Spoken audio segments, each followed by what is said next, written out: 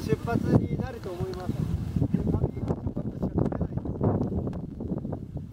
で、その出発の時にちょっと具合悪い。ちょっと体力的に今度しんどいなっていう方いましたら、蓬莱館の方で休むことできます。蓬莱館の方でご来光を見て、えー下山するっていうこともできますので、